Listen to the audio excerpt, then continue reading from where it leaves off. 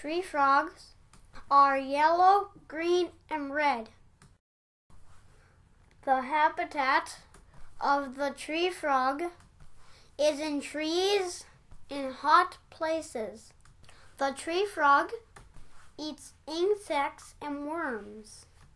Did you know that tree frogs are like jewels in a tropical forest?